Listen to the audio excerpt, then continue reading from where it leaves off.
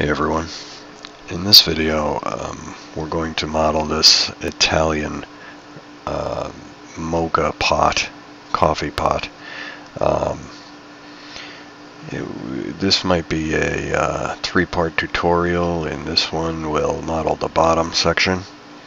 Um, and then in the second one we'll do this upper portion uh, and then the uh, the handle and um, in these other uh, these other items in the third. Um, okay, so for now we'll uh, concentrate just on this bottom section. It won't be a difficult uh, shape to achieve by any means. Alright, so um, we'll go ahead and uh, work on it right now. Uh, we'll start out, this is a 10 sided object. Um, there'll be there's 10 sections here and as you can see it, it goes into a nice smooth bevel up here okay? Um, the sides are uh, are planar so um, we'll have to keep that in mind. We'll bring up a cylinder into the scene. Uh, it'll be a 10-sided cylinder.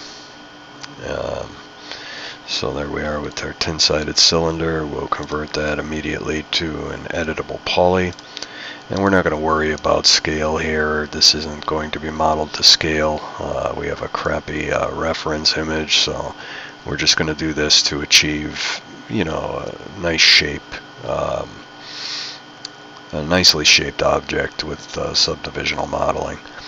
And at the end, I'll uh, I'll release this uh, model for free for you to examine the topology uh, and everything. So I'll release it as an OBJ as well as a uh, 3ds Max scene file. So if you're not using 3ds Max, you'll still be able to um, open it and uh, look at the topology. Alright, so here we have our our 10-sided cylinder. Um, we'll go ahead and uh, select this top face and we'll give it a little bit of a bevel. Okay, that's probably good enough. Delete that face. Okay, next step we'll uh, select an edge here and ring it and then loop it so that we have all the uh, all the uh, edge loops that we want selected. Um, create a chamfer. Um, we'll create a chamfer with two actually I hit three on accident we want uh, two interior segments and we'll pinch them together uh, probably like that. Okay, and the purpose of this will be just to uh, have a nice um, a nice crease here for our subdivision. Okay, so that's a that's a good start here. Um, next, we'll select this an edge here, and we'll go ahead and loop that, and then apply another chamfer, chamfer this time with uh, We'll just go with a one one segment uh, straight chamfer. Okay, and uh, we'll make it relatively thin as well. Okay, so now we have this. um, next step, we want to, because what's going to happen here is once we subdivide, um, we're going to have nice creases on the sides as you can see here in, in this uh, example of a real object. We'll, uh, we'll have nice creases on the sides from uh, you know from our um, our edges being so close together in proximity to each other on the surface. But we don't want the crease to continue up into this beveled area because uh, that's not what's going on here. Once uh, once these creases reach this this area um, and then get beveled, it's uh, there's a smooth transition here. Okay, so what we want to do to achieve that is to uh, spread out the edges here um, so that when it's subdivided it's smooth up here but maintain maintains creasing here. Okay, so we can do that pretty easily. Just select an, an edge here in the middle of uh, the three edges and then um, select similar to do that all the way around the uh, the uh, face loop here. Okay, and then we'll open our loop uh, loop tools. Make sure auto loop is not selected in this uh, particular case, and uh, we'll use our pinch tool to just spread them apart a little bit here. Okay and uh, that's gonna that's gonna do a nice job here but we need a little bit more uh, we need these parted a little bit more from the center uh, edge so to do that we'll um, go to border mode select border um, and then just uh, tap on relax a few times and that as you can see that spreads them out very nicely up here okay Okay. So now that we have that, um, what we want to do is uh, we're going to scale this border. We're going to scale it right to about there and then we'll pull it down slightly to right about there. And again, we're just eyeballing all of this. There's, there's no, uh, you know, this is just completely arbitrary but we're just trying to match visually what we have in our reference here. Okay, so we'll pull it down and we'll create some smoothness in here um, by adding some edge loops. And select an edge and go ahead and ring it. And we'll, we'll connect I'd say probably two connection uh, edge loops. And um, so now we have this and what we can do from here is go ahead and select the uh, select the first one and uh, loop it and then just bring it up a little bit and select the second one loop it bring it up a little and until you have a nice rounded uh, lip there Okay. And you could this this could also be done with the set flow tool. As you can see, just sliding the set flow tool in the graphite ribbon does uh, essentially the same thing. Um, so sometimes uh, sometimes it's helpful to use the set flow in this case. Alright, to create uh, the rounded topology that you'll need in that area. And that looks pretty good right now. Okay, the next step we're going to select an, an edge uh, right in uh, along these uh, planar faces here and uh, ring it. Alright, that rings it all the way down. Okay, and uh, now if you were to uh, loop this, in this particular case, it, it I don't don't even worry about the bottom parts. Um, all we're concerned about is uh, this area right here for now. Um, if you were to loop that as I just did, what what happens is that you're also catching these edges that are that are in this area of the model and uh, we don't want that. All we want to do here is uh, ring this central portion okay and not, and we want to do that in every segment, in every section. Um, so one way to do that easily is uh, to use the select similar. Okay, so as you can see now, all of these sections on the planar faces have been selected, uh, but not the interior ones. We didn't, we don't want those selected. Okay, and what we'll do is uh, make a connection, just one connection, one segment, right in the middle. Okay, so that's what we want there. And uh, that, that looks pretty good. Alright, so then what we'll do is uh, we'll grab these two vertices, okay, and uh, select similar to get them all the way around, same selection. And we'll just move them up slightly. Don't worry about the pinching that's occurring right now. We're going to fix that. Alright, and then grab all of these vertices. Alright, six vertices here.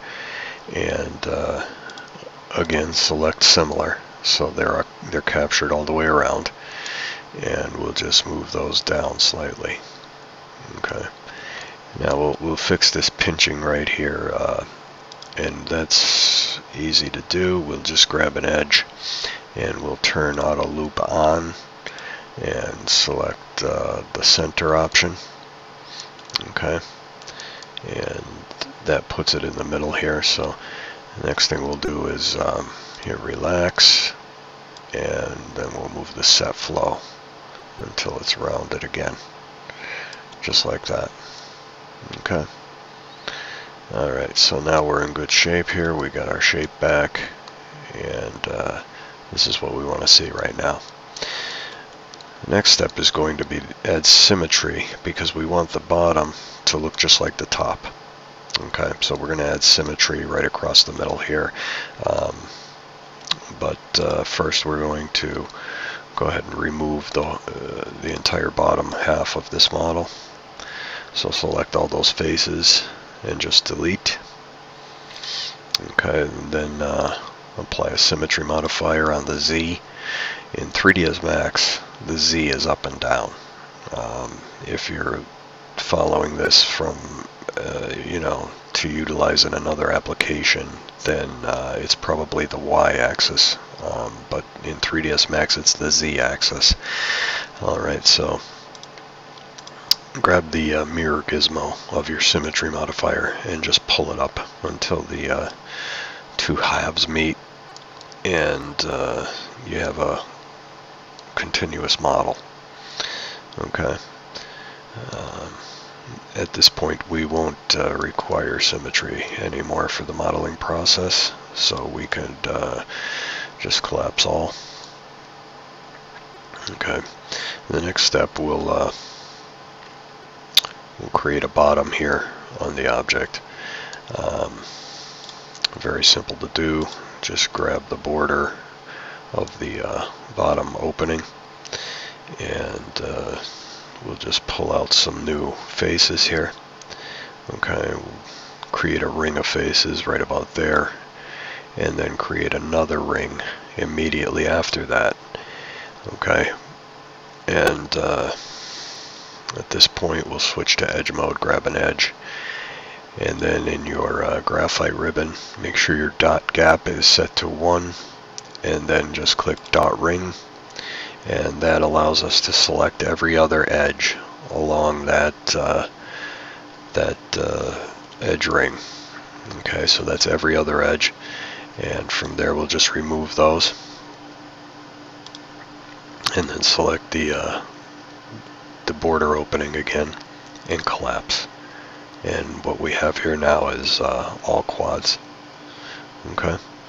So um, now that we've done that, uh, we could go ahead and add a turbo smooth just to see what we're, what we're looking like here. Okay, not too bad. Um, let's go back down a level. Um,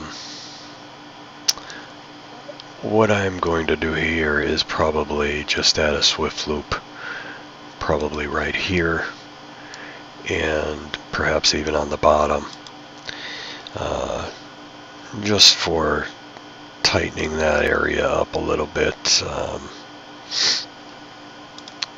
it, it may not even be necessary, but uh, it looks like it, it, it, probably is.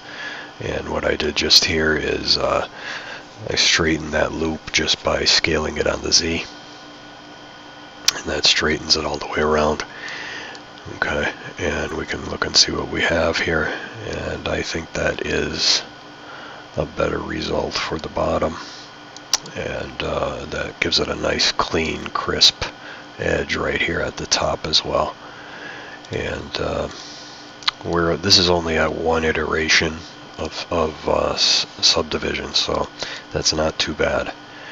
Okay I mean if we went to uh, two iterations that's even that's even better so.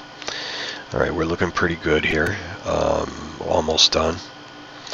The next step is uh, we'll just uh, create our uh, finishing portion on the top here. This there's a uh, there's an extrusion up here that will follow through to the uh, second part of the model. So we'll create that uh, next. And I think we'll just scale some new faces, pull them up, and uh, that looks about right. Okay, let's back up and see, right? Um, if you notice, uh, what we have here now is that uh, this is slanted. It's uh, it's tapered uh, towards the top.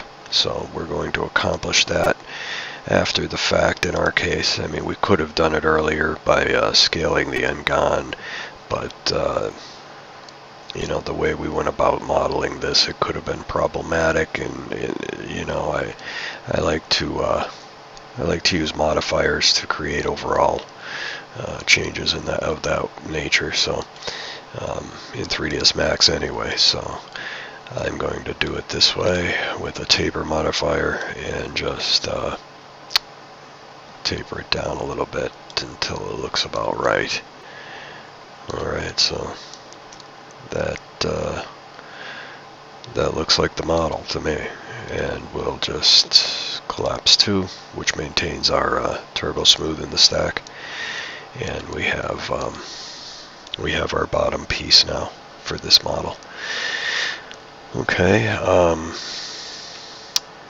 in the next tutorial we'll work on this uh, this other section right here with the lip, um, the pouring spout, and uh, we might even create the handle or the uh, lid in this uh, next one. So, and then we might do a third one for the uh, the knobs and uh, the little gizmos and perhaps even some of the inside.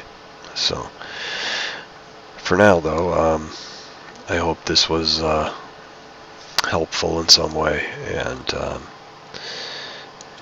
you know, I hope you uh, subscribe to my channel and uh, find these uh, videos useful. Um, I, I, thank you for watching and I look forward to uh, completing this model. Okay.